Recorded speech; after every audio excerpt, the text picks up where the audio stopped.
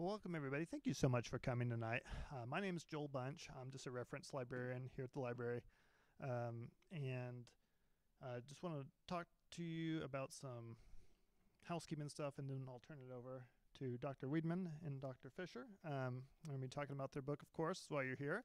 Uh, in your seats, you might have seen an evaluation form. If you'd like to give us your feedback, there's a box in the back.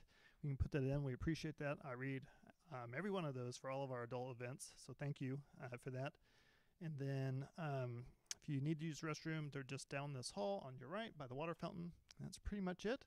Um, tonight we are joined by Dr. Rob Wiedenmann and Dr. Ray Fisher. They're going to be talking about their book, um, The Silken Thread, Five Insects and Their Impact on Human History. There is going to be a Q&A. Um, they kind of want to do it organically, so as questions come up, um, I'll bring you a microphone. This is live stream, so when you say your question into the microphone, it'll be on the stream. So we ask that you do that. So just, just wait for me. I'll hand it to you. Um, I think that's it. So thanks again for coming. Oh, and uh, cookies are free available. We've got coffee and water, and then books are available for purchase in the back. welcome me in joining them, or join me in welcoming them.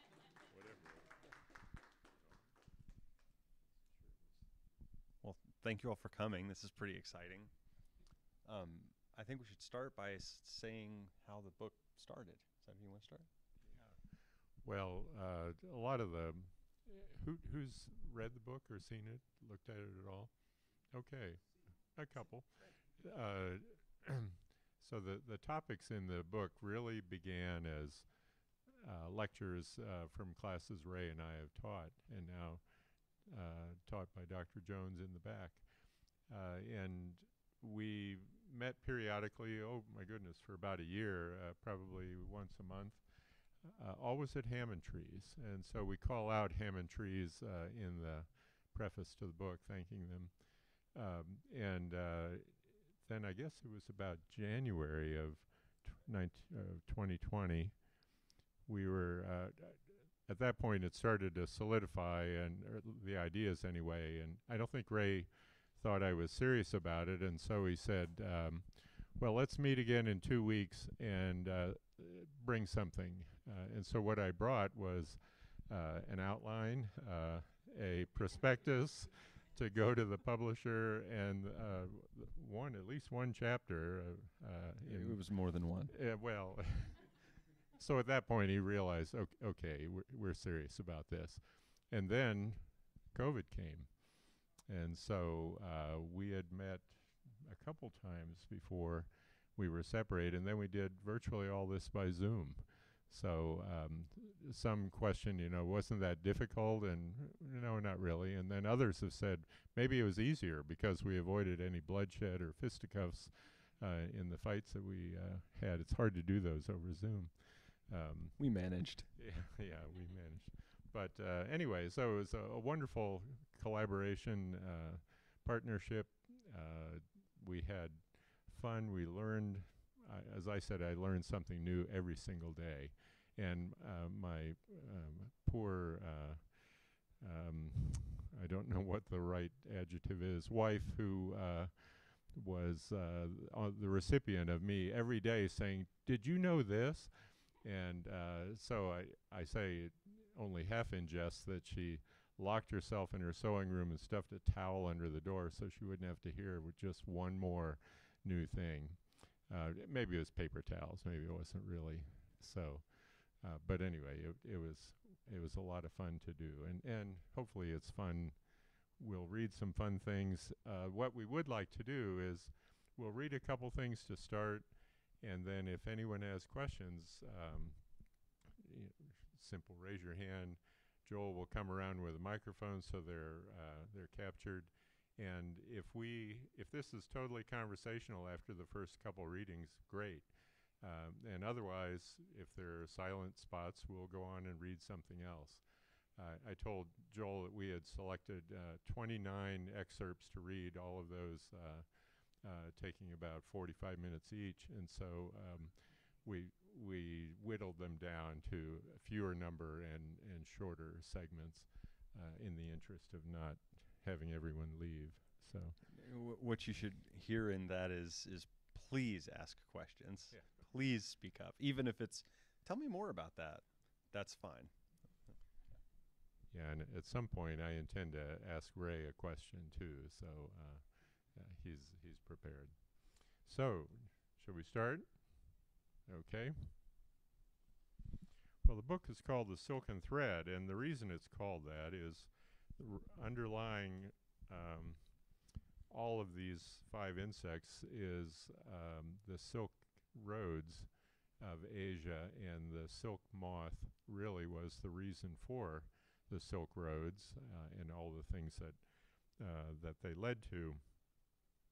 And oh, go. A- Actually, could I say one more thing Of about the overview? Um, so now I'm I'm seeing where where we're going. I think it'd be useful to say the th- the what we kind of decided to do is write a book about just five insects that were responsible for major right angles in human history.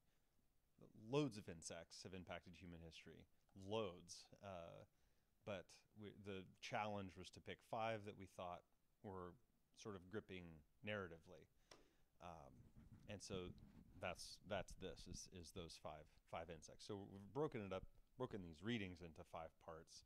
We're going to read one, starting with the moth, and then break and see if anybody has something to say. Nobody does. We'll go to the second one.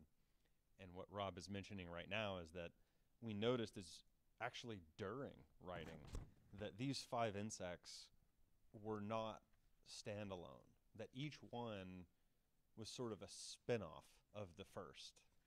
Um, the first being silkworm, which we'll talk about in a moment, and that the silkworm responsible for the silk roads, the silk roads sort of created that right angle shift in the other four insects, hence the silken thread. So we'll get to that. We'll explain this more, I think, but I just thought that'd be useful up Yeah. front. So. No, thank you for that, Ray. Yeah. This is the nice thing about working with Ray. All the things that I would forget, Ray. Um, you know, well, what about this? You forgot that. And actually, there was one point working on the plague, and we kept finding more and more and more. And uh, I was about to say, "Damn it, Ray, we don't need one more reference." And then he found one more reference, and it was the most important one in the entire book. And so, uh, It was thank about- you for that. About amoeba. Yeah, who So would have cool. thought amoebas? So the five insects, uh, uh, we should explain uh, the the domestic silk moth, uh, human body louse. Everybody loves body lice. Um, the um, oriental rat flea, which uh, has uh, an in, inappropriate place in history. Uh, everybody learned about rat flea and rats, and what we know is not not true. Uh, we have um, western honeybee and um, the yellow fever mosquito, and so those are the five that represent the sections we'll we'll talk about. So I'm going to start with uh, the beginning, actually, chapter one. and the title of chapter one Ray came up with, and it's entitled Moth Spit. Moth spit. That's hardly a glamorous descriptor for the robes and gowns of emperors and empresses. Nonetheless, spit from the young of certain moths has captivated humans for centuries. Although the moths are just doing what they've done for eons, secreting proteins from their mouths to spin into cocoons as part of their life cycle. Colloquially, we call that moth spit by a more refined name, silk. As with all moths and butterflies, Bombyx mori, which is the name of the moth, has a complete life cycle egg, larva, pupa, and adult. The eggs are pinhead size, so small that it would take a thousand of them to tip the scales at one gram. A female silk moth can produce only about 500 eggs over a few days, so two females would be required to yield one gram of eggs. For this first step in production, about a thousand eggs are placed onto large bamboo trays and covered by mulberry leaves. The larvae, once hatched, multiply their weight 10,000 fold in roughly a month if kept at the ideal temperature. Read that again. a 10,000 fold weight gain in 30 days. The initial gram of eggs would now be 10 kilograms. Uh, caterpillars can be considered the teenagers of the insect world. Just like human teenagers, insect teenagers have ravenous appetites. However, even human teenagers don't gain that much weight, thankfully. Parents would need more or larger refrigerators in their home. Oh, um, as the mulberry leaves are consumed, they're replaced with fresh leaves, and this process requires that the larvae be cared for almost continuously.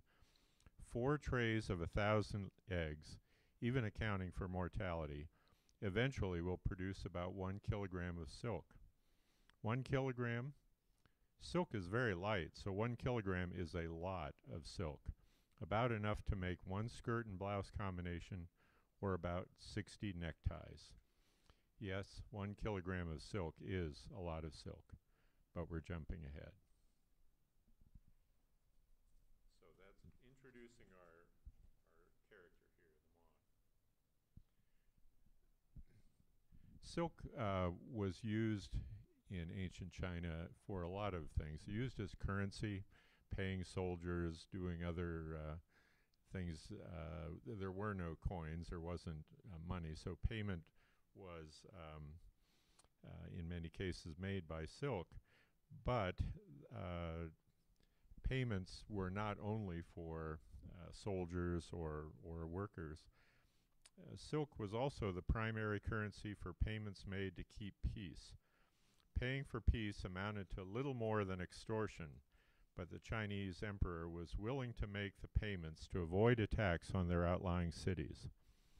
One fierce tribe, the Xiongnu, and I may be mispronouncing it, was the most feared and most demanding of the nomads. Their tribal leader periodically requested meetings with the Chinese emperor. At those meetings, the Shan Yu, the tribal leader, collected his gifts, which consisted of rice, wine, and most desired, silk. Silk was a symbol of power and status, and so it was highly desired as a tribute for payment.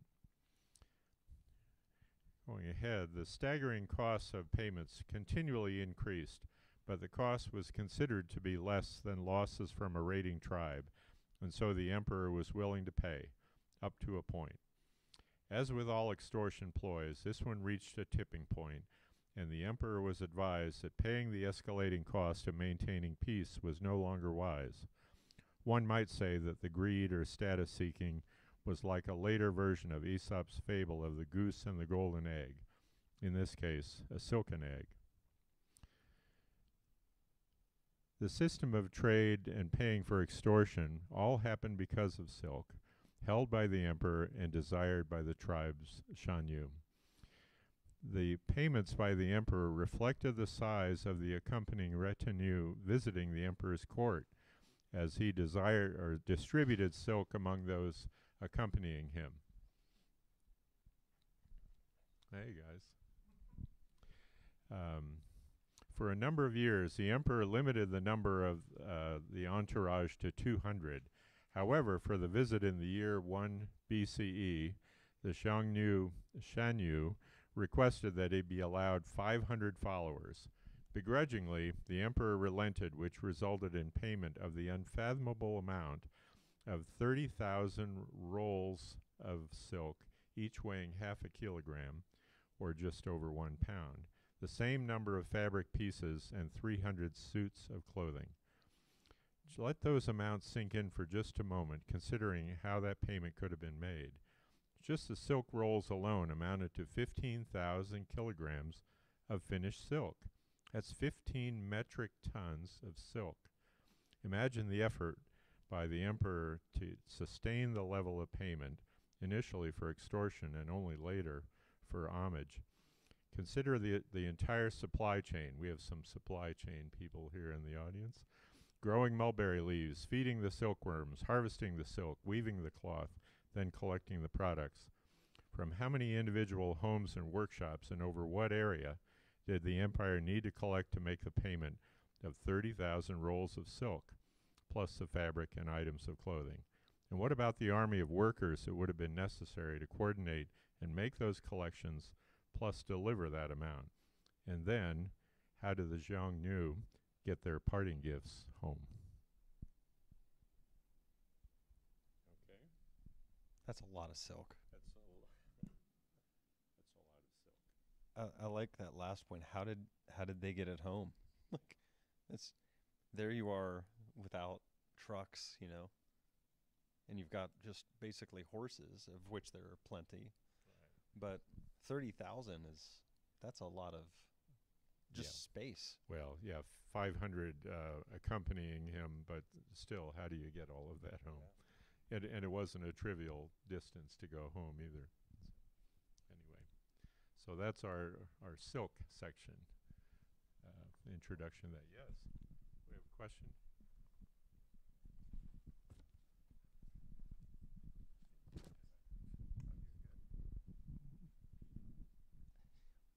You mentioned 1 BC, I think. When when did we first start making silk or using silk? How far back in history? So, so that's a really cool question. Um, and it turns out it's really hard to answer um, because what we know is accounts of silk making. And those accounts, written accounts, uh, occurred long, long after uh, domestication took place. And domestication took place on a northern population of these wild silk moths in um, northern China, basically. And that area uh, is not the only place that was doing this. So uh, we've made this point here of um, moth spit becoming silk, and we're talking about silkworms. One thing we didn't say here, but we say in the book, is you know this is a standard practice in the group called Lepidoptera moths and butterflies. They all make silk.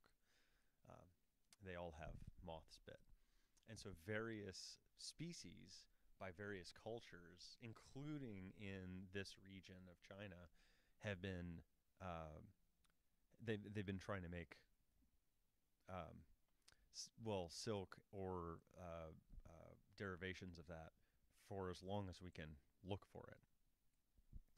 Yeah, at, le- at least 7,000 years. So, uh, but imagine domesticating an animal to make a product, and this is different than domesticating cattle from which you get food, or uh, and, and how this so this moth spit that they somehow figured out over the years could be useful, but in beginning with it, it's not useful when you start. But going back uh, at least 7,000 years. All of the, the fabrics, actually, the end of this first chapter, the end of this first chapter uh, talks about different fabrics. And so if silk was reserved for the emperor, what did everybody else wear? And so we talked a bit about wool and cotton and um, linen from flax. And, and so uh, all of these have very uh, ancient origins uh, wool that you might think, well, that's really ancient, may have been one of the more recent. But um, but silk, at least, there's knowledge of it going back that far. The, the only th- other thing I'd like to add to that is that information is coming from so many sources. So to find out that age, we're looking at archaeological evidence, but we're also looking at like molecular evidence of the evolution of the moth. Um, domestication is a fascinating process. Um, it's essentially just a mutualism with a human. That's what we call domestication in, a way. And uh, you can date those evolutionary events with DNA changes. And of course, they're doing this, but the results don't give you like a clock. It's a huge range. And uh, and so yeah, seven thousand is, is is what we've what we've said. But it's it's worth pointing out that um, it's reasonable. It's very reasonable that it's dating far far older than that. Because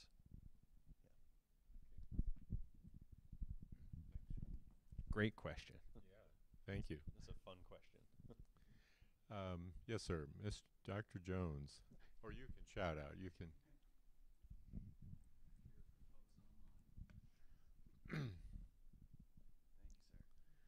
I'm just curious about the term silk itself and that coming about in language because uh, Lepidoptera are not the only ones that produce a substance that is similar to that that we refer to as silk. And so I'm curious as to whether the term silk originated around the moth spit itself, or was that a term that was already around for something else when silk was discovered, or was it something applied to like spider web at that point in time? Because now we refer to those things as silks, but is that which came first, the chicken or the egg kind of a thing, I guess, with the term, the silk itself or the term, and how are we relating those? Just some history on the term. So, uh, in in a brief nod, I think we can both confidently say that we don't know. Um, but I, I do have something to say about that. So, uh, so linguistically, I, I don't have a comment. I, I really don't know.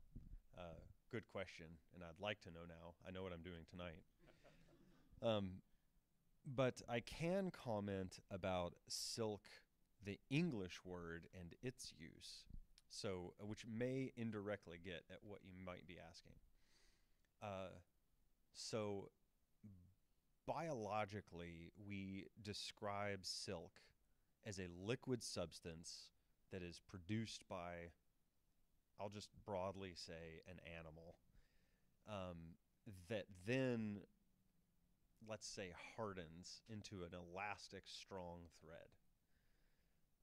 That definition is extraordinarily broad and encompasses an outstanding diversity of chemicals, origins. It's been evolved in independently multiple times in fly across different flies, across Hymenoptera, independent of uh, uh, Hymenoptera wasps and bees, independent of, or it's thought independent of uh, moths, uh, because they're using different structures.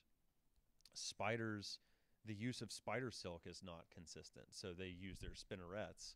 Uh, uh, glands in their spinnerets to produce silk, silk. but you may not know that primitively, primi- ancestrally, spider feet have can produce silk as well. Um, spiderlings and tarantulas and other older spiders they can produce silk out of their feet, or spitting spiders, which spit a venom at their prey and cover their prey up. That's called silk too, and that's directly related to venom glands uh, the proteins have absolutely nothing to do with the silk in other spiders, and that's just spiders. So, uh, mites produce silk. Uh, there are uh, shrimp that produce a silk-like substance, uh, and so on and so on. And we're not even talking about uh, silk-like fabrics that could be derived from plants. So the the short end, the the point I'm trying to get at is, um, historically, linguistically, etymologically there's a fascinating story with the word silk but i think there's actually more interesting things to say about what we're doing with silk now. If i if i go to an arachnology conference and use the word silk i mean something very different than if i go to walmart and say the same word. And that diversity is fascinating. And again it's not something special about arachnology. If i go to a hymenopterist convention those are both entomologists those are two completely different words, silk and silk. So yeah. So we don't know. d- don't know. But uh, well, and and so j- just to follow up on what Ray is saying, the, so this is this uh, liquid is produced in salivary glands of these caterpillars. You have salivary glands, so do these these larvae. Um, in your case, uh, anybody here that weighs 220 pounds, uh, you've got three salivary paired salivary glands and they have a mass of about 3.4 ounces. So you weigh 200 pounds, 3.4 ounces of uh, salivary glands, or less than 0.1% of your body mass.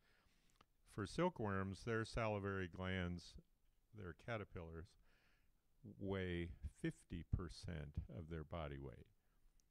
So salivary glands are important to you. They're incredibly important to a silkworm uh, half their body weight. So uh, a little bit different than than we do. They also track down the whole body of the. Yeah, you could if you stretch them out. I think it's like ten times the length of the the body, so really involved. I forgot we did have one other, um, and we're not going to get through these 29 readings. I know that, uh, which, which is good. Um, who here has a cell phone? And I don't, you don't need. I mean, everybody has cell phone. So this part applies to you. And this uh, was one of the lectures I would give in in uh, class, and it was always fun at the end of it. Uh, so this is uh, with the innovations generated by the Industrial Revolution. The textile industry was benefited with advances in the cotton industry also made through spinning. But the silk industry benefited more from advances in weaving.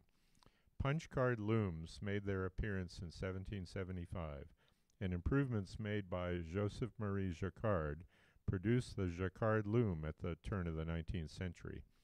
His machine used a series of connected punch cards to be processed in a defined sequence, producing complex and detailed patterns that could be made repeatedly, enabling mass production. Several different outcomes ensued from the introduction of this loom. First, complex silk patterns prior to the this loom required a master weaver paired with an assistant who sat on top of the loom and raised and lowered warp threads manually. This new loom produced quality woven textiles by an unskilled worker in much less time, reducing the number of workers needed. Because there was a reduction in number of skilled workers, there were uh, and the unskilled workers then were employed in with poor working conditions, paid poor wages, and that led to worker revolts. The initial uprising in 1831, when the workers took control of the silk district in the city of Lyon, France, was the first known worker revolt. The second uprising, three years later, lasted six days and was quelled by tw 12,000 armed French soldiers, killing 300 of the rioters. Third, the need for fewer workers and faster production led to lower cost, and they were affordable then to a broad market of consumers.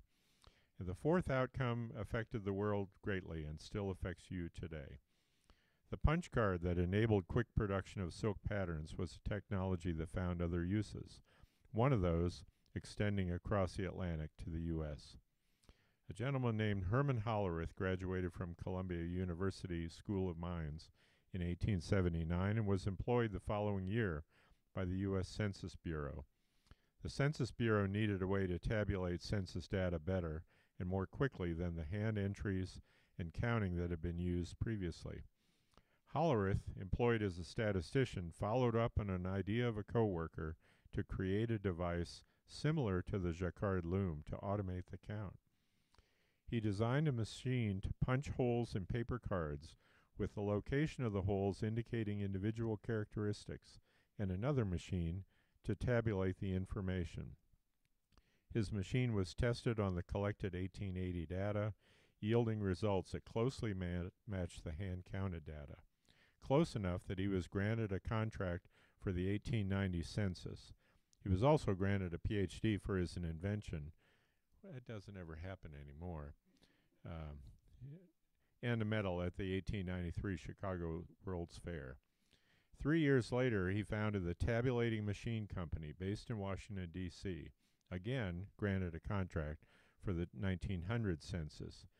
He believed he alone could provide the technology, so he inflated the prices, resulting in the Census Bureau developing a counting machine for their own use, which the government then patented.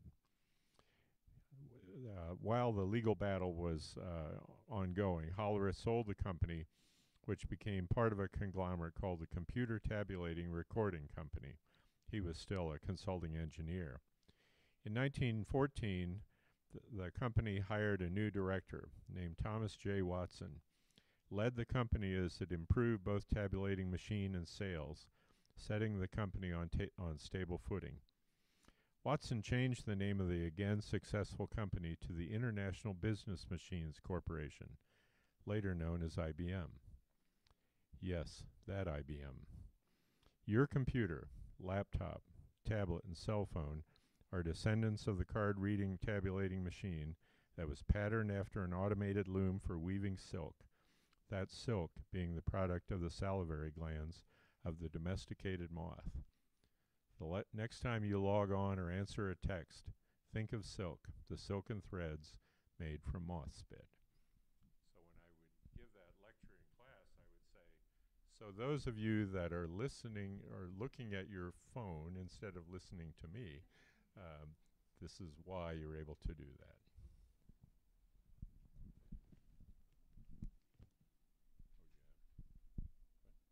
I, th- I think that's one of my favorite stories, one of my tops in this in the whole book. Okay. Passing it on. Passing the, the baton or the microphone.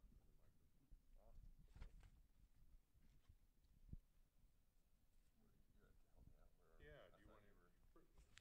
Or am I doing the next? one?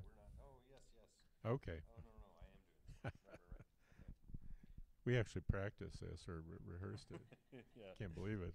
Six minute phone call earlier today. Yeah. Um, yeah. So uh, this next, so that's it for moths. We're moving on to the next insect. Uh, would anybody like to make a comment or a question about moths, silk moths, silkworms? I have one question. Yes. You mentioned retail. We, you know what? We might keep one. We can pass it back Yeah. and forth. Yeah, that would work better. Oh, is this for the web? Yes. You, men- you mentioned Walmart, and then uh, uh, like what they think silk is versus what silk is. What's what do they think it is versus you know? Yeah. Yeah. So I, I was referring to silk, the fabric, versus the biological. Uh, the so in, in I- I was mentioning that there's sort of uh, a pluralism with the just the English term silk. In re- yeah. End product versus uh, the, the uh, initial, the starting point. So a biologist, a biologist is thinking of the beginning point, that which is extruded from the animal. The the retailer or whomever is selling the final product, which is a silk uh, shirt or whatever it might be. Um, yeah, th- so really different both ends of the of the production, I guess, Of moth spit. Of moth spit. Two yeah. ends of moth spit. I, I actually have a follow up question on this. Um, do you talk about in the book the um processing involved in taking the uh, the biological project or um, th- the biological product and then making taking that to the the finished silk shirt? yeah, we we actually spend a fair amount of time with the the spinning and and how much it takes and how the threads are woven together and um, uh, how it's collected uh, from the um, uh, from the cocoons.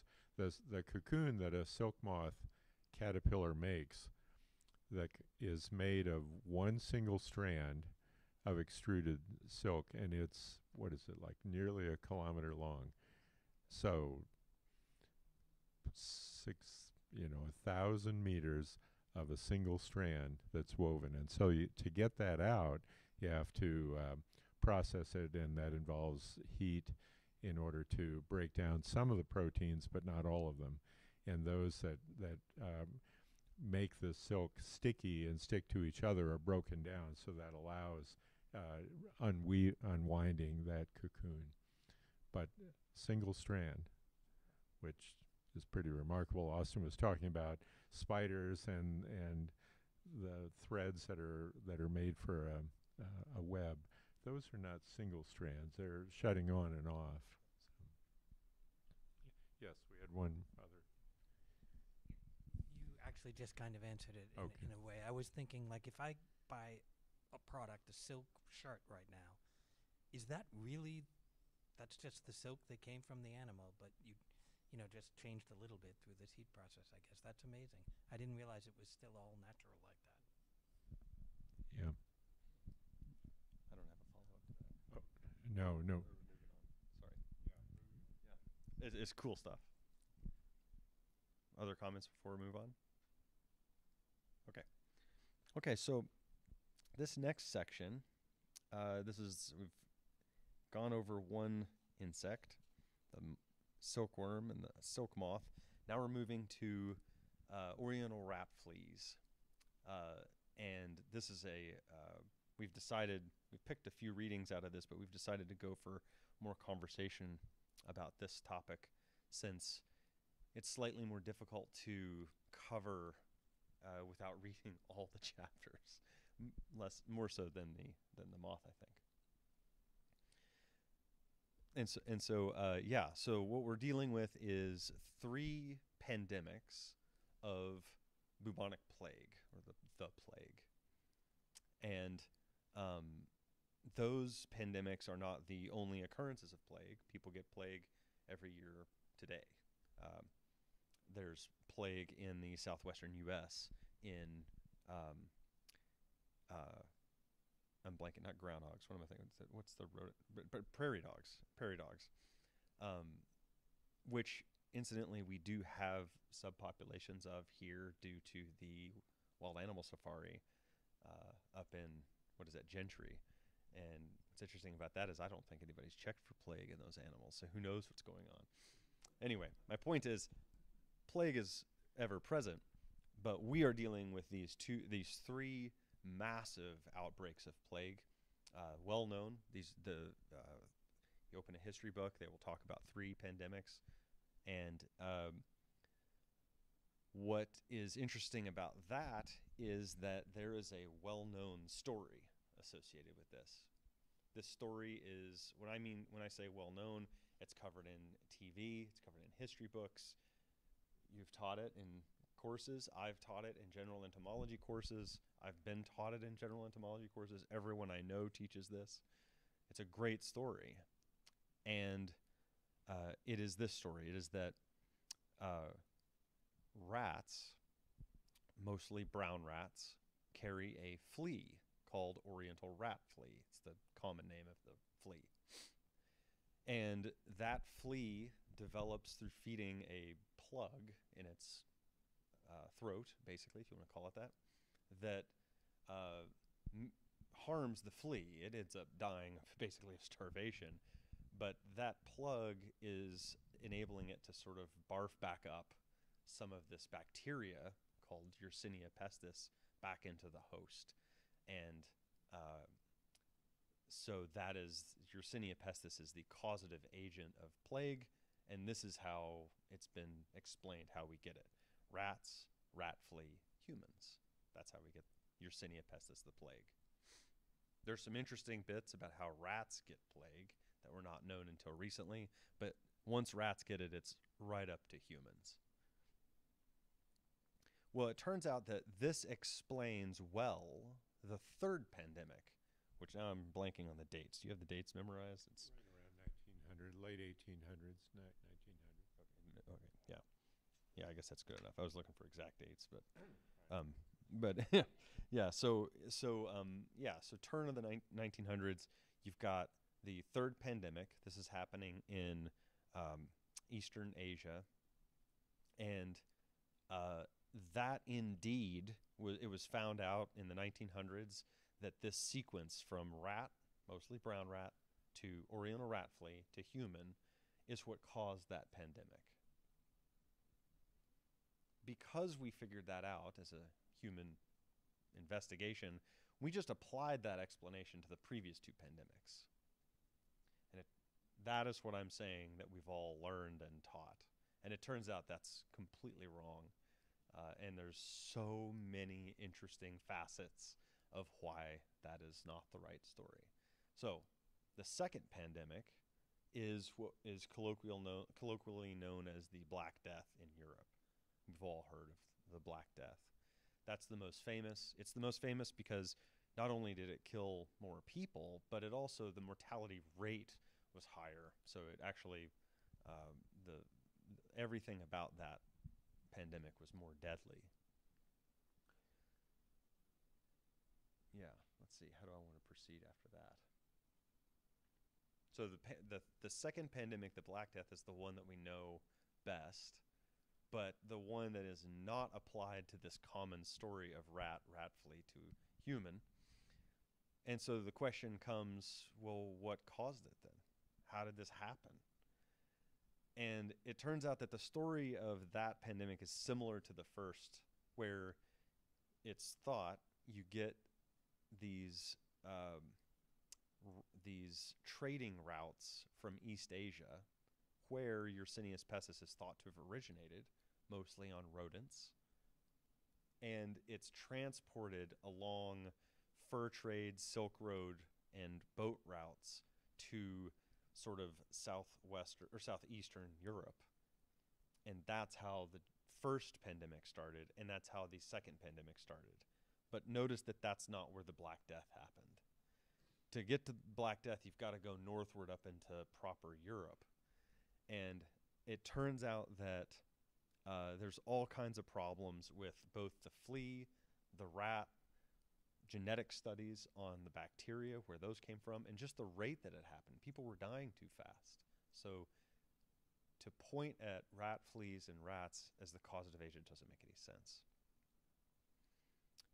In the book, I, I really love this is one of my favorite sections I think that we wrote because uh, almost every hour we we had our jaws on the floor being like wait what? I didn't know that. This is we're wrong about this too? Okay now I've got it. And then a few hours later read something else. Oh my gosh we're wrong about that. And then it's a constantly evolving story. I just checked this morning and it turns out this year there's even more updates on this topic. So uh, how this how the black death happened how the first two pandemics happened is a continually evolving story and one that we actually don't know that well. If you just want the short answer i'll go ahead and just give the short answer and then we'll backtrack and say how we got there. The short answer is we think it's it's lice. It's still an insect. In fact it's the next insect we cover. But uh, we the human to human rate of transition is very fast and that is matching the speed of the deaths in the black death as it traveled northward in a way that rats couldn't do. Um, the way the disease cycles through rat rat flea and human is far too slow for it to account for that. And also and also the the players weren't in place when uh, when the Black Death occurred. So uh, the Norway rat or brown rat uh, didn't occur in Europe until what 1600 somewhere in there. We're talking about a pandemic occurring in the 1300s. And so wait a minute, if if the rat's not there, how does that happen? Well, the rat got got the uh, the plague to the port, and then it moved through different uh, animals from there. But then the the the kicker was the human to human, and that would involve lice. As we were going through this, and Ray said, you know, jaw dropping each time, I was reminded in the 1970s there was a comedy troupe called Firesign Theatre, and they had an album that was entitled "Everything You Know Is Wrong," and that's what we felt like as we were writing this this section. We'd get to where, oh, that's it. No, that's not it. There's still another part to it. I ask you a quick question? yes In light of these findings, uh, uh, what has been the uh, response from the historical community? Community. Oh, that's a wonderful question. So, uh, yeah, uh, as you might, as you might guess, up upheavals like this don't sit well. Um, in, in in particular, uh, from cross disciplines, um, and so there have been pretty. I mean, the liter- it, honestly, the papers are fun to read uh, because they there are personal attacks writ in those publications pretty regularly. I mean, I don't, I don't know. Maybe uh, this this is dealing uh, around a time about what uh, 2010s, I guess, is when we started thinking in these ways. Um, but I'll say a couple more things about that. So, so contentious and not well is the direct answer. But there's a couple other interesting aspects. One is that uh, the causative, the, the actual disease cycle has been debated for a long time outside of evidence. So this is outside of historians, outside of people doing genetic work on the disease, outside of people, you know. Um, it, so, for example, in, in many medical fields, people have come up with various explanations for how the bacteria itself can be transmitted, let's say in a lab. and so there was a period in the 1990s where oh um, 19 yeah 1990s where we, they thought that the that the plague was transmitted aerially and what's interesting about that is that sometimes it apparently can be but only under specific circumstances and unrelated to the pandemics um, but that got circulated for a while so there was sort of like a already like a question mark around the topic so it wasn't maybe as contentious as it could have been yeah um, yeah, does that answer your question? Yeah, cool. I, want, I wanted to say one more thing about something you said about the rats. You know, oh, by the way, the rat wasn't even there. Well, you might wonder, well, maybe it was another rat. You know, there's other rats. Maybe the rat flea got there a different way. Never mind that rat fleas aren't in archaeological digs of that time, whereas other in, uh, parasites are. Maybe they just missed it, right?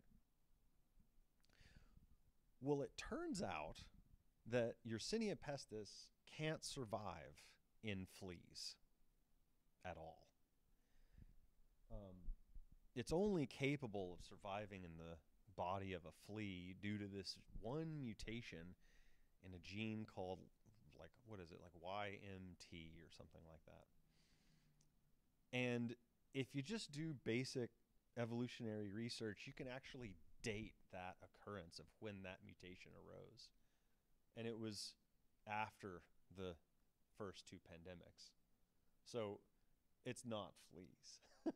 and it's one of those where you look at it from almost every line of evidence and you just thunk once again and again and again on the realization that it's not fleas, it's not the rats, it's not the, you know, you just keep saying no to these things and you're sort of left with other explanations. Okay. and so that that chapter that was written about sorting out the plague, we wrote it. Some of you are old enough to remember uh, the TV show Columbo, detective.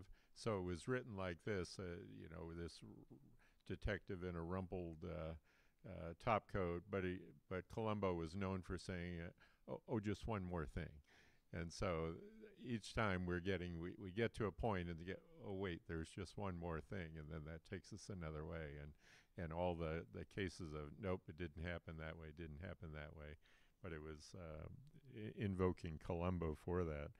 But one one thing that we have today, in addition to quarantine in the Southwest, is, I mean, uh, plague in the Southwest, is the word quarantine, and it really came about because of the plague. And in 1374, where the, the ships were arriving in Venice, and the port officials kept the ships offshore for uh, what they well first they did 30 days known as a trentena uh, and then they set up a, a process to isolate travelers for 40 days known as the quaranta giorno or the quarantena and so the, the words come from that 40 days of isolation to keep from bringing the bacteria the disease on shore so what we what we have today had its origins because of the plague. So I'm just curious at a show of hands, does anybody know that story of rat fleas, rats, and plague? Yeah, just get a show of hands. like, Hi, just actually curious. Yeah. Wow. Okay. So, like, we all know it. How many people have taught that? Just me. Oh, great. Okay, three of us. Awesome. Yeah, I, I just think that's amazing. Uh, can I say something about amoebae? cool. Okay, so uh, the reason that I like this story is not just because it's fascinating. It is fascinating. But I love this story because I think you had just about had it with the references. I, th- I don't know how many references I, I've amassed on it. it two. Two, two, two? many. Oh, too many. Yes, indeed.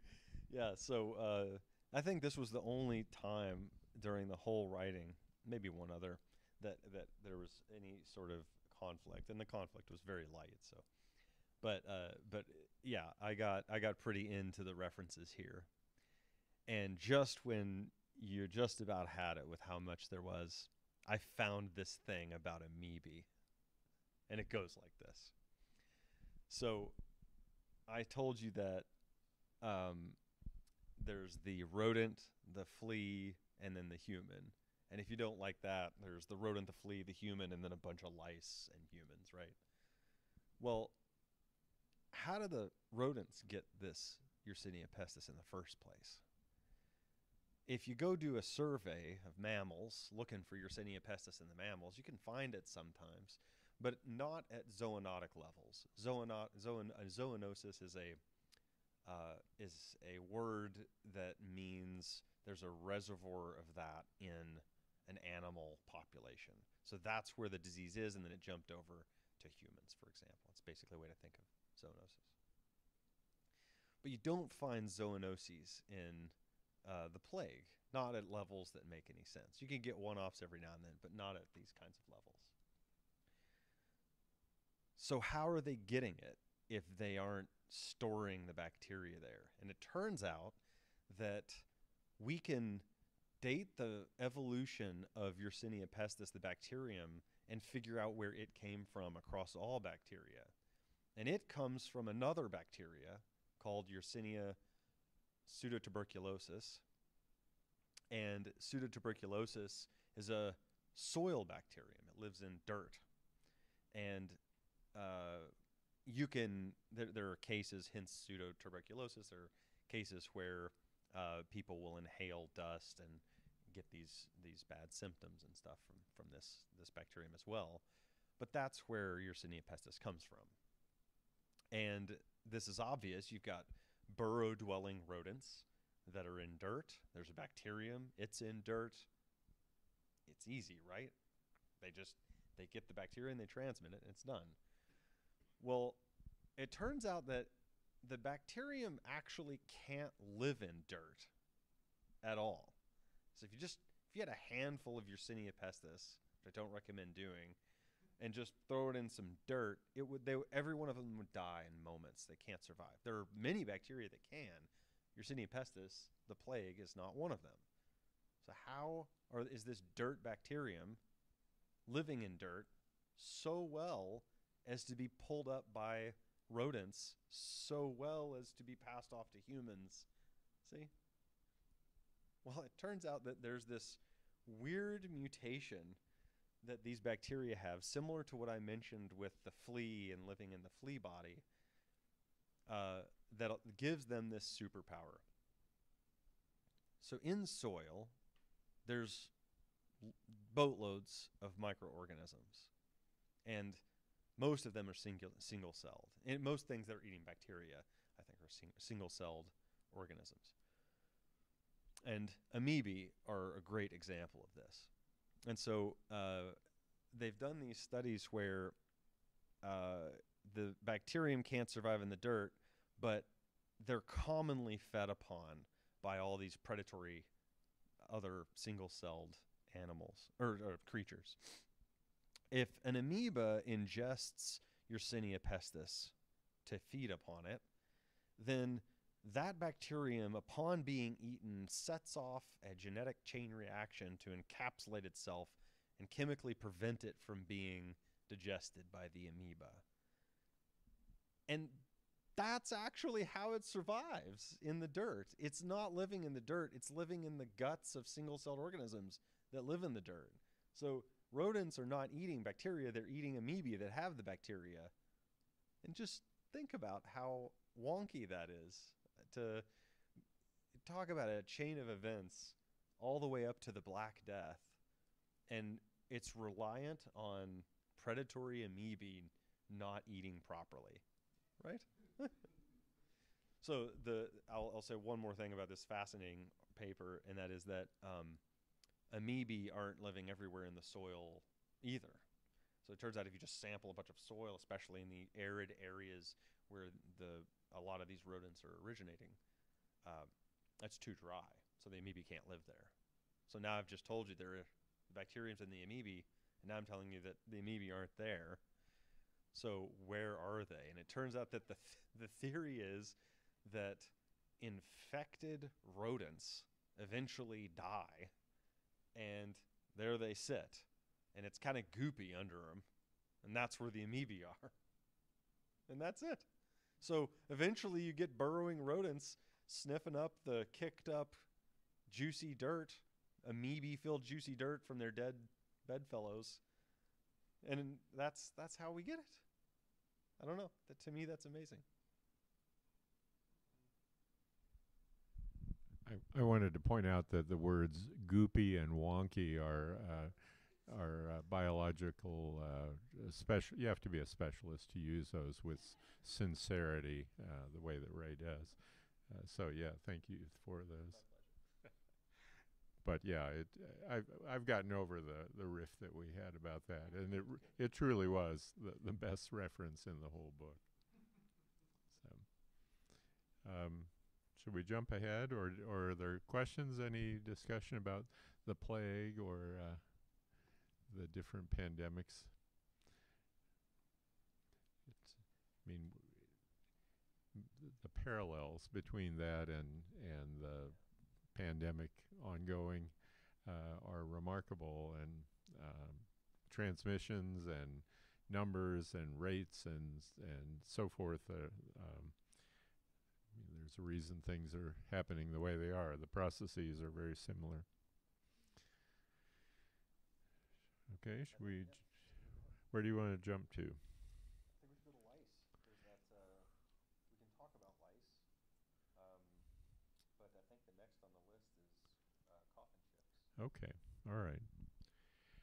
So this is about uh, lice, and this part of it uh, has to do with Ireland and the the great hunger that occurred because of the um, plant pathogen that uh, affected the potatoes. Potatoes were the staple uh, food of people in Ireland in in the 1800s, and the amount of c- potatoes consumed was staggering. And we first found this figure and we couldn't believe it, so we went and found another source that confirmed it independently, and then still a third one, which was slight difference, but basically that an adult male was consuming 14 pounds of potatoes a day. This is all they were eating, and there's not a whole lot of nutrition in a potato, and so you have to eat a bunch of it to uh, to get any nutrients. Uh, so it's something like 40 to 60 potatoes a day. Um, any of the, you that peel potatoes can imagine what that would be like. But anyway, the, when the the um, uh, potato blight came, and that was no longer uh, uh, food available, and and the Great Hunger began. People were trying to leave Ireland, and many of them were crossing the Atlantic uh, to come to America, and the um, the ships that carried them were not equipped uh, to carry passengers. Some of them were old ships made to carry uh, lumber or timber, excuse me. One that was supposed to um, carry 155 passengers had 276 on board. There were 36 berths, so places to sleep, for 276 passengers. Four of those were for the uh, for the crew. Uh, no sanitary facilities, crowded together in a hold with no ventilation. Well, the problem with that, and then th- there was insufficient food, there was insufficient water, uh, because they weren't required to uh, take care of the passengers. And many of those passengers that went on board had lice, and they had lice carried typhus. And typhus is not a very forgiving disease. So you have these ships leaving Ireland, overcrowded, people crowded together, um, so passing lice from one to another, passing typhus from one to another. And so these ships were known as coffin ships. And so uh, the passengers leaving Ireland seeking refuge abroad uh, found hellish voyages that were deadly. When ship fever broke out, the passengers were sickened and confined to an unventilated hold in the dark, no sanitary facilities, no food, and no water. One account estimated 8,000 passengers died en route, but that's likely to be far too low. More than 400 ships, later called the Fever Fleet, disgorged their human cargo in Canada, so that estimate works out to only 20 fatalities per ship. Well, one of the ships that left Ireland with 476 passengers, 158 died on board. Another 106 were ill on landing in Canada and died. Another uh, convoy, 810 passengers of two ships, 268 died. So this estimate of 20 per ship is a little low. Uh, and so uh, they were called coffin ships, but that name was ironic because those dying on board were thrown into the sea, and those who were dead on arrival were buried in mass graves. In both cases, no coffins.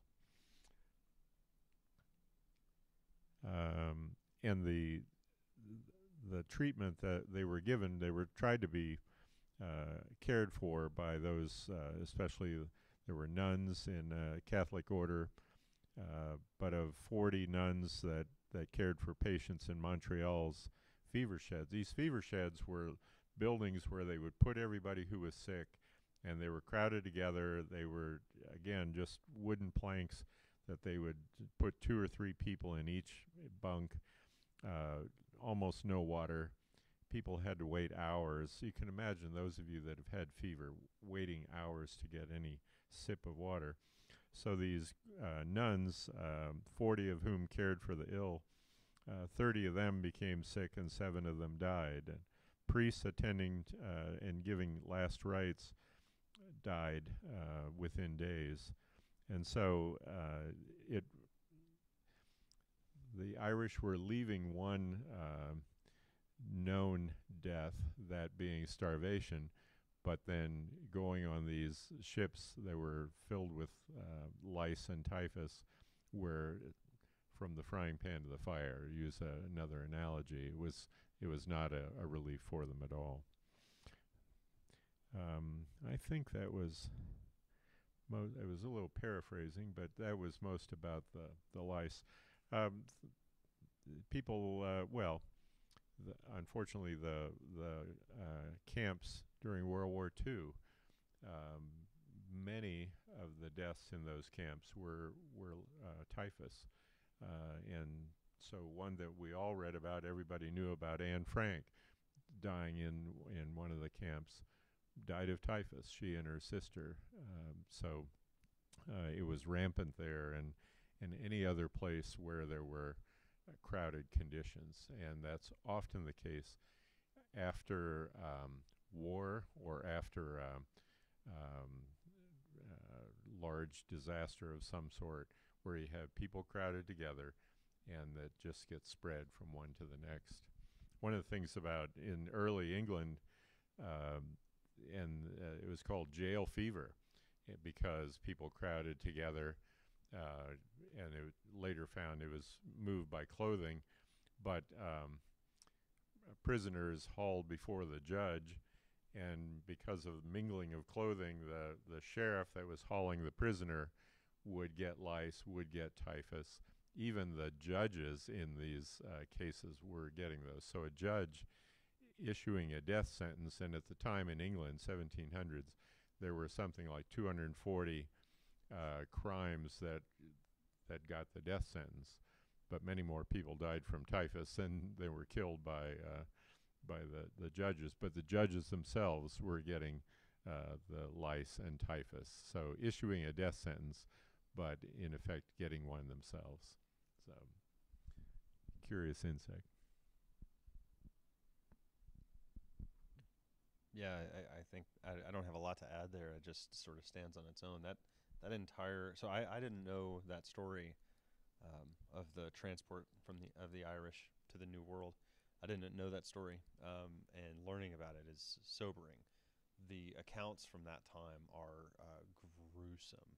So uh, if you're interested in that sort of thing, that's a great place to spend some reading. There's lots of material on it. So we're talking about gruesome ways to die. What a, what a wonderful uh, thing to talk about. Well, we could have done that the the pits. Uh, yeah, so Okay. we didn't get too bad. Okay.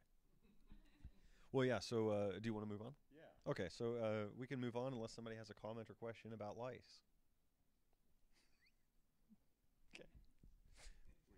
while you're finding your place, there's the anecdote. One of the notes in there, our, when our daughter was young, uh, she loved rice, absolutely loved it. And uh, but Emily didn't uh, couldn't say her her uh, L's and R's for a long time, and so we were at a a restaurant in in San Antonio, and and my wife took our son to the restroom, and while they were gone, they brought a plate of rice, and Emily was so excited, and she saw Luann across the restaurant and yelled as loud as she got could, "Mom, we've got lice!" and we said that you know much to the dismay of everybody at nearby tables, and so uh, yeah, check please.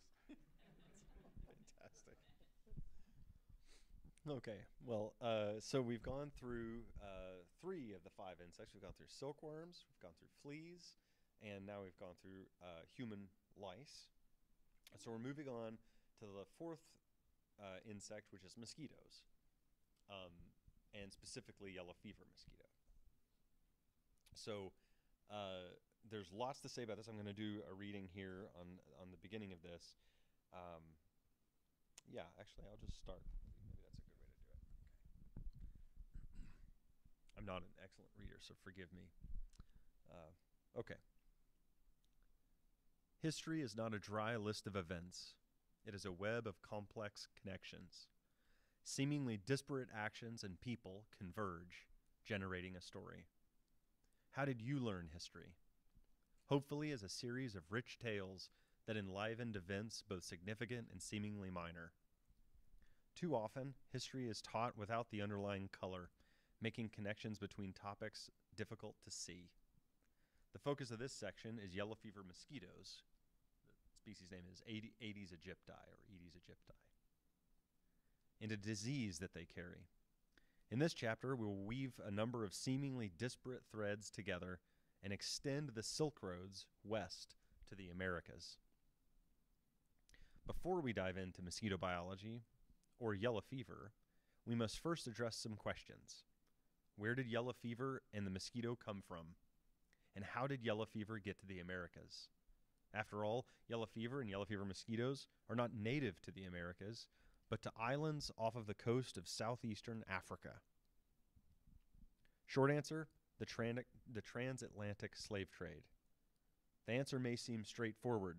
Europeans brought yellow fever and yellow fever mosquitoes from Africa to the Americas, but not so fast. The story is a web, weaving together seemingly disparate entities.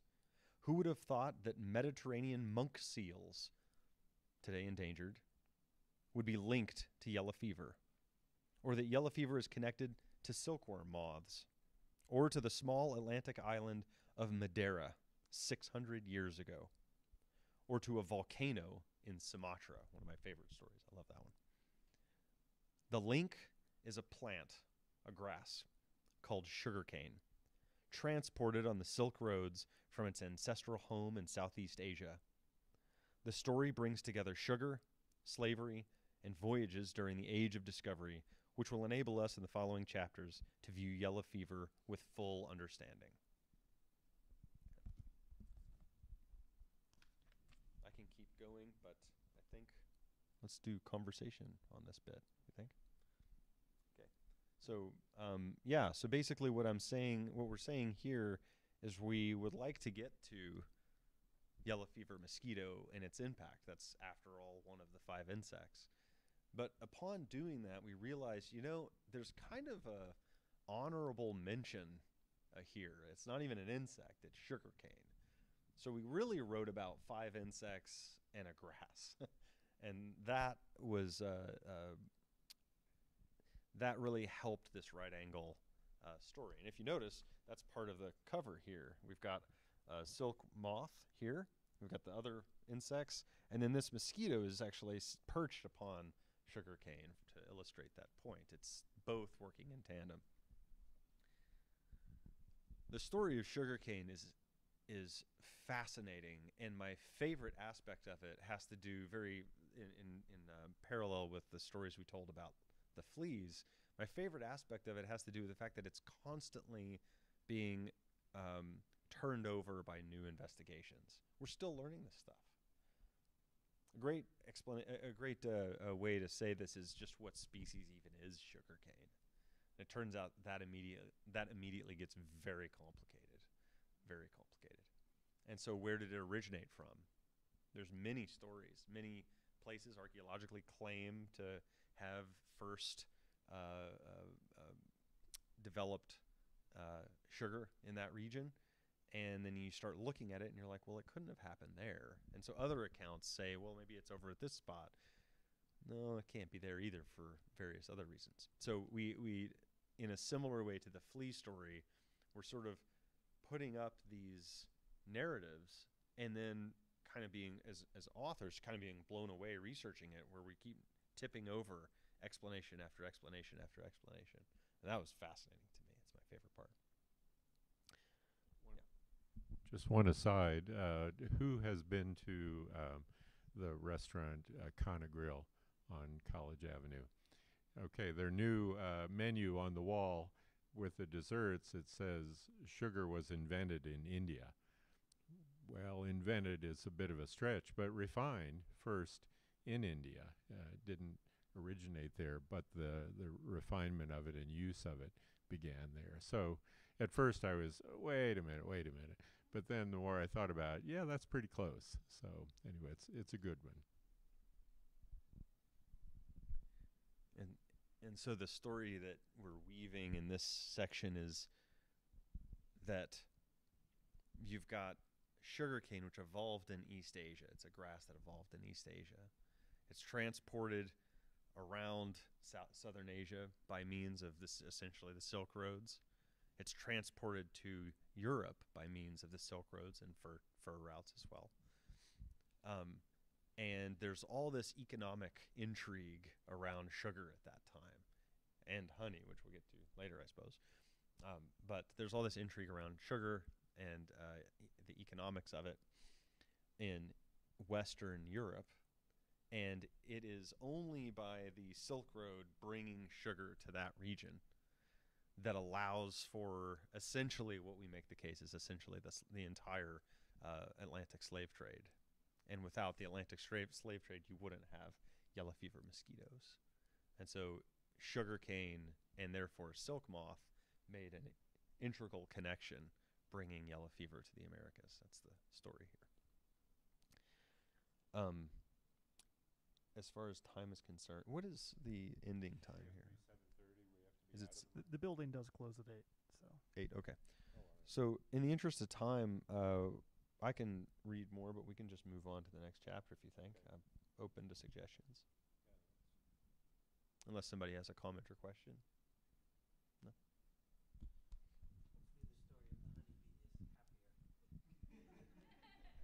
My favorite line of the honeybee, the honeybee of, of the west of Western honeybees, is uh, something that Rob coined. Uh, he says honeybees uh, revered or wait now I've forgotten it. My favorite quote I've forgotten it. What what you came up with Revered and reviled. Yes, both revered and reviled. Uh, there's a dark side to honeybees, um, and that's pertinent today. So,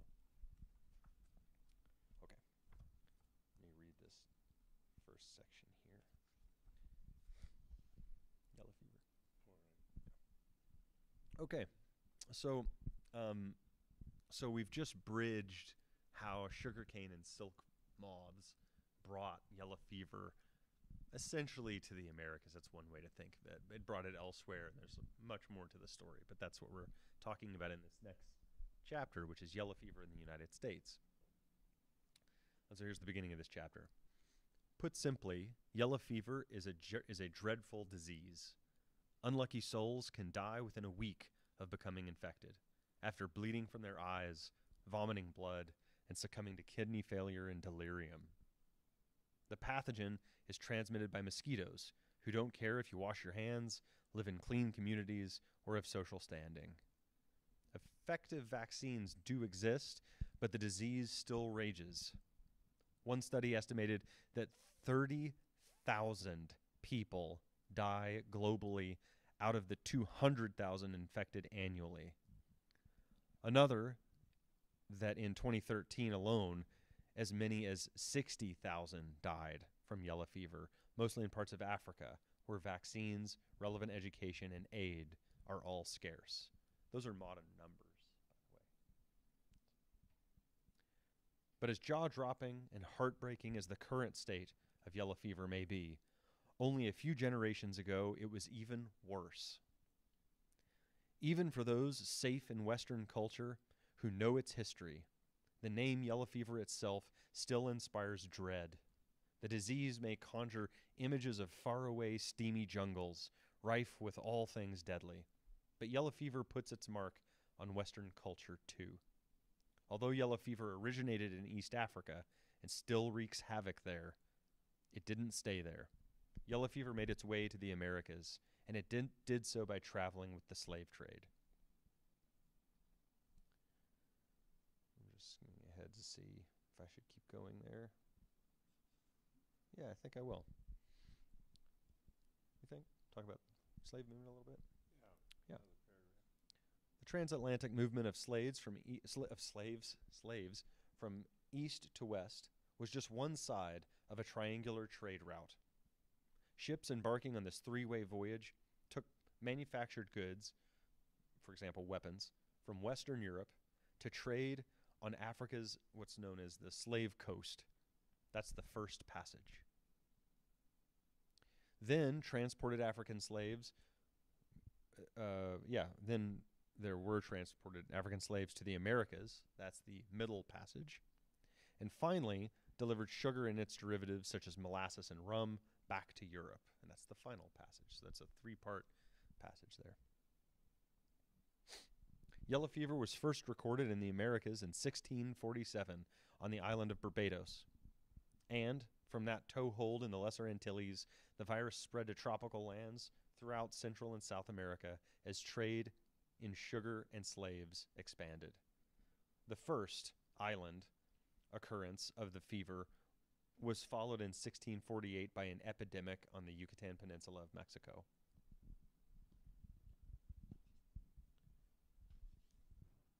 Yeah, yellow fever was not restricted to faraway lands, nor jungles, steamy or otherwise.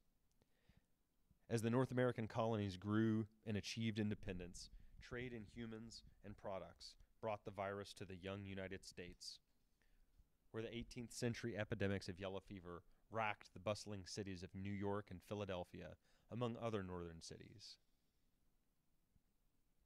Yeah, I think I'll stop there actually. Yes, I will. Yeah. So this begins the yellow fever investigation and how it wreaked havoc on uh, mostly the U.S. at that point in time. I'd like to follow up on one thing real quick before I move on. Um, here we are writing about first. Let me find this. Yellow fever was first reco- re- recorded in the Americas 1647. Okay. So one thing that's interesting is that, as I've said, this research is constantly going. So there's we're learning new things every single day. And uh, I was just reading this morning that now there are people who believe that the first introduction of yellow fever into the into the Americas may have actually been on Christopher Columbus's ship, and possibly he gained it from the slave trade in the Canary Islands, which is where he stopped before he came here. It's the same story and theme, but uh, it's so interesting to see that it may be even one. I mean, when was this? This was published last year. Even one year ago, we're still learning things that tell more of this story. So yeah, I think that's so fascinating. You'd like to add something? Well, we said uh, had we written this book five or ten years ago, the stories would have been simple. And if we were writing the book five or ten years from now, they'll be very different than what we're writing now because uh, everything we know is wrong. So um, it does change that way. Well, would anybody like a like to ask a question or make a comment there? This is gripping stuff. That that that uh, I mean not not the book. I mean, I, please make your own judgments there. But the the story there of of the connection of sugarcane and the just rich history there, and the silk moth and rich history there, and the slave trade and the crazy rich history there, and then the stories in the Americas, what was going on in Brazil, sugarcane. I mean, the, the sugarcane industry in Brazil alone is fascinating. And you introduce the Caribbean, and you talk about rum trade and just so on and so forth. It's gripping. Cool. we might have to move on. and and and the establishment of of great powers in the Americas. How early on it was the English, and then uh, the, the Spanish because of the Slave Trade Act in uh, 1700s, so the, or 1800s. So the the English were no longer able to use slaves to grow sugarcane, and so it's it's a very demanding, uh, labor-intensive crop. And so when they were not able to use slaves for it, they switched to some other crop like cotton. Uh, and instead, the Spanish, who weren't constrained by the laws, still used slaves. And so Cuba and Puerto Rico were the two largest uh, sugar producing um, islands, colonies, and they both were, were Spanish uh, colonies at the time.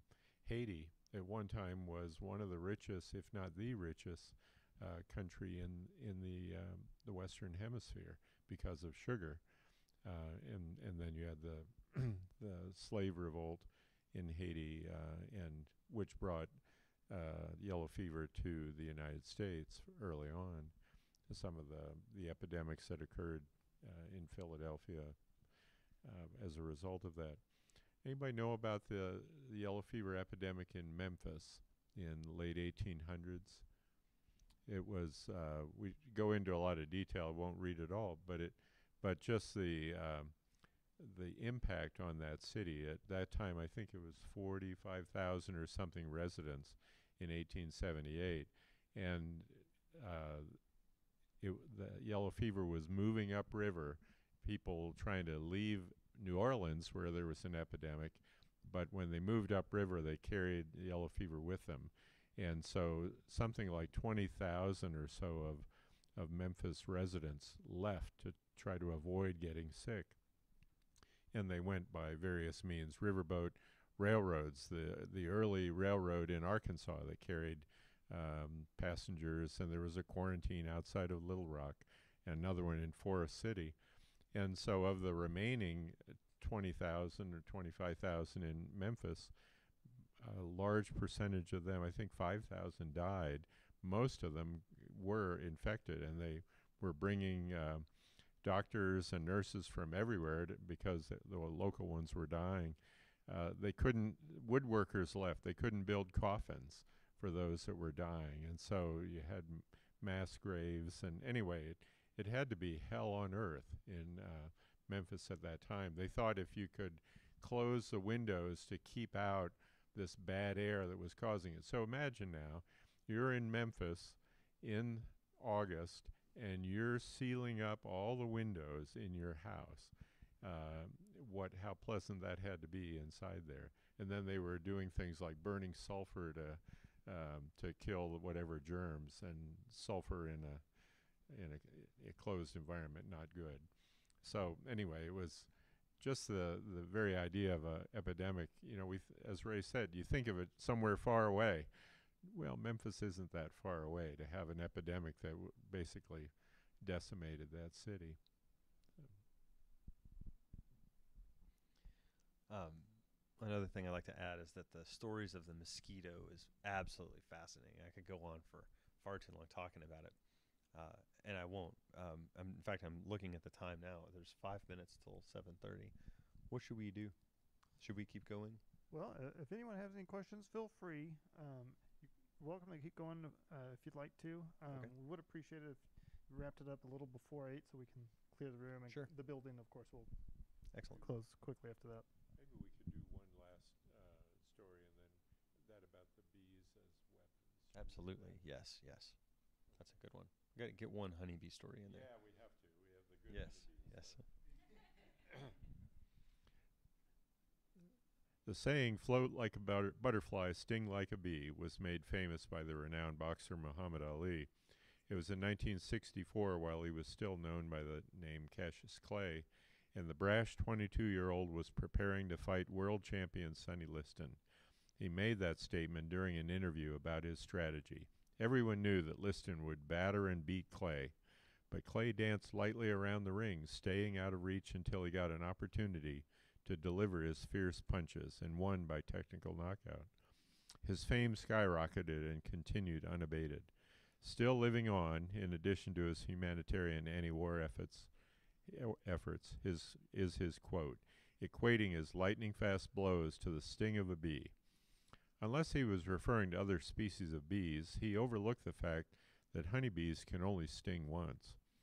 Or maybe he thought that just one of his solid punches was all that was needed to vanquish his opponent. There's no record of Ali ever studying the biology of bees, so we'll cut him a little slack. But bees were used as weapons uh, throughout history, going back to the second century BC, um, where they were uh, put into tunnels to uh, to break sieges. Um, they were used um, in castles where they had uh, actually little niches on south-facing walls where they would keep a, a kep of uh, what is it, skep of uh, bees.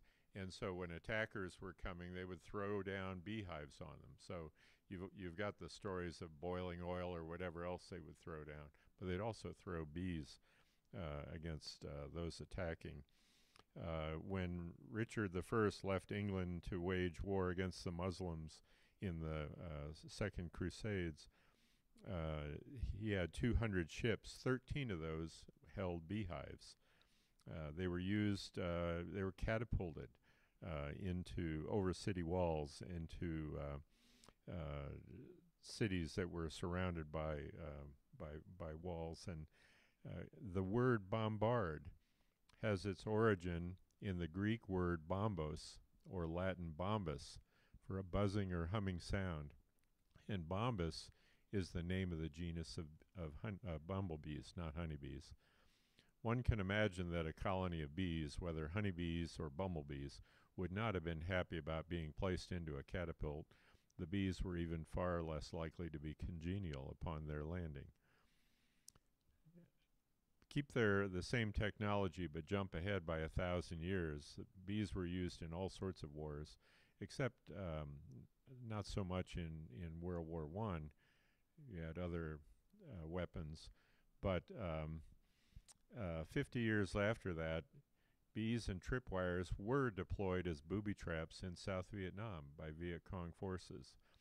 Different accounts offer varying versions. In one account, Viet Cong attached small explosives like firecrackers to the huge aerial nests of the giant uh, Asian honeybee, uh, causing them to drop and release angry bees onto advancing American troops. In another version, tripwires resulted in nests dropping onto American tanks with angry bees entering into the close confined space. It's the largest and most aggressive of the Asian honeybees, and so the tank's crew had the choice of staying in the tank and facing many large aggressive bees in tight quarters, or trying to exit the tank quickly, only to find themselves under fire from Viet Cong. Not very good choices. Um, so the use of bees as weapons uh, even up until the 1970s from something that was thousands of years ago, but using the same technology and the same biology.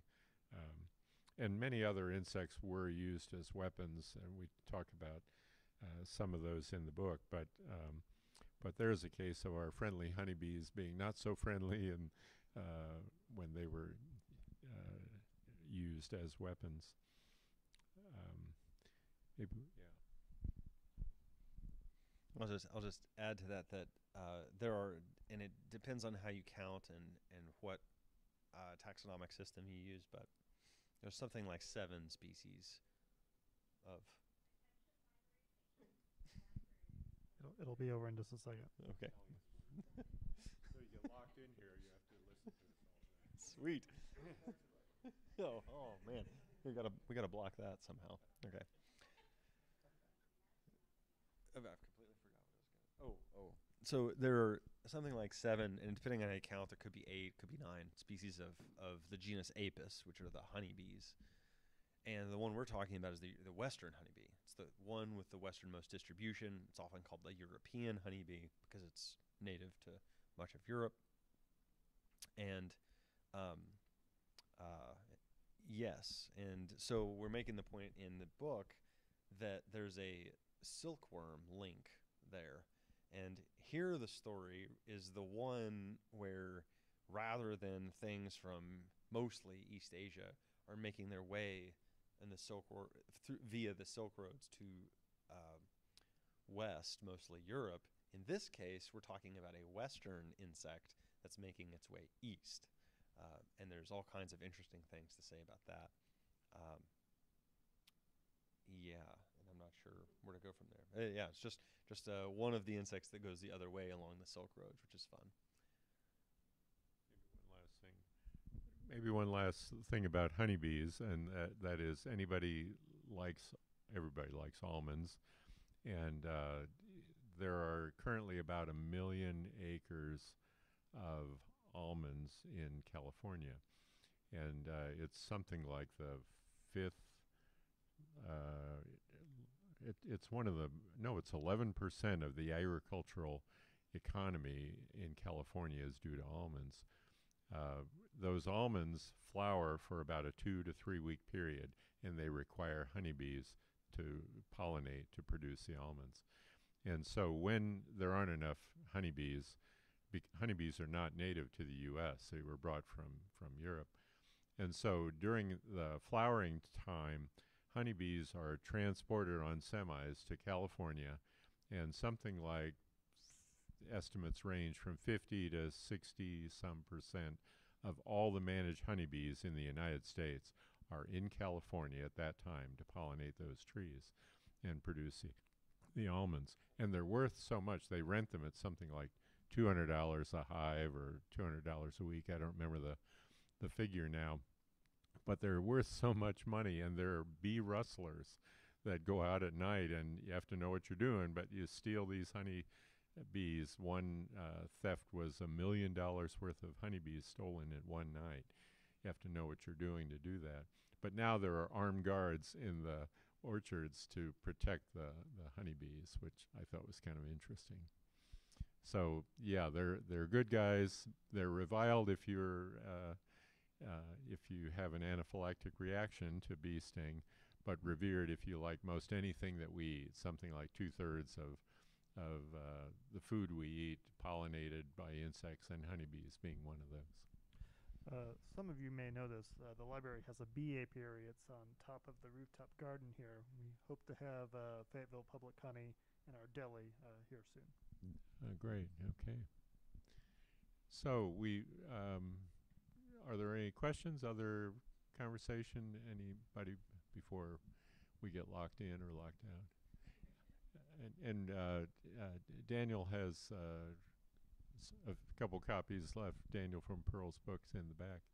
Anybody that's interested, or if you brought one, we're happy to sign a book or anything like that. But other questions, comments, uh, surprises?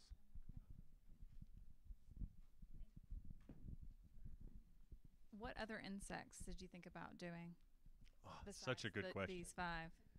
Yeah. So, uh, c- y- can I answer that? Yeah. So, um, uh, yeah. So the there, we th- there was one that made that was probably the most discussed, and that's uh, malaria carrying mosquitoes. It's hard to imagine with the just sheer number of deaths per year throughout all of history. Hard to imagine a better case for a insect affecting humans than malaria carrying mosquitoes. And uh, yeah, so we ended up not doing that for many reasons. One is that that's more of a slow grind. Uh, there's not good narrative examples of right angle turns in history that are easy to, well, at least easier for us to envisage. Um, and there's more than one species of malaria carrying mosquito, and there's more than one species of malaria, and there's a lot uh, to say about disease transmission in various parts of the ancient and present world, much of which is still unknown. Um, and we already wanted to do yellow fever, so we didn't want to do two mosquitoes. So that one was cut. We had two more that were debated. Uh, one, and we were divided here. If we had to write a book uh, on the six insects, then it would be one of these two, and we disagreed. This is one of the reasons we had five and not six, is because I don't think we would come to an agreement there. We would we would have. Um, for for Rob, uh, it was boll weevil, uh, as as a good example of an insect that made a good right angle in history, and for me, it was uh, Drosophila, fruit flies, uh, mostly thinking of medicine and genetic work there. Uh, so yeah, that's that's the others. We discussed many. I made a great case for the tarantula pet trade, uh, but it turns out there's just not enough known about that historically, so it wouldn't be a gripping chapter. Also, aside from just holding them, there's not a lot else you could say. Um, although, if you're interested, there's more to say. Somebody else wrote uh, an interesting account of specifically red-kneed tarantulas affecting native communities in uh, western Mexico. Yeah, so those are those are. Do you have anything to add to that? My my choice of boll weevil was because, in my opinion, boll weevil's responsible for rock and roll music, uh, because of just movement of people and and the music they carried with them. So it's something we can talk about later. Other uh, question anybody have? Yeah, can we get a round of applause for our authors tonight?